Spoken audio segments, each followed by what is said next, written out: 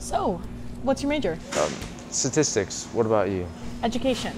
Oh, that that's that's awesome. I I don't think I could ever do that. Um, well, are you thinking elementary? Oh, no, I could never deal with 30 kindergartners at once. I- I'm thinking more high school. Um, why high school? Well, it's a tough time for kids, you know. I know that I was struggling with coming to terms with being bi, and I would love to be a safe place or there for someone that's having trouble. So, you're bi. Yeah. That's hot. How many men have you been with? How many women have you been with? So like, you swing both ways? Oh, that's cool. It's just that my last girlfriend left me for a man, but there's no hard feelings. But what team are you mostly on?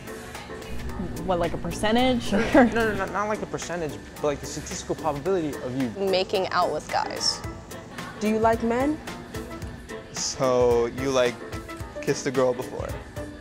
How many boyfriends have you had?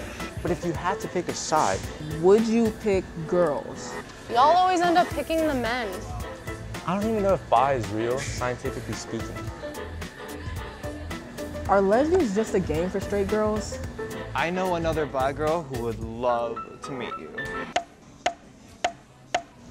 I am bisexual. That means I like men and women. Yes, I've dated men before, and yes, I've dated women. But more importantly, I've turned off more men and women than I have turned on because I am bi. So if you have a problem with that, now would be the time to say something. Okay. Okay? Yeah. Okay. I mean, you like girls too? Yeah.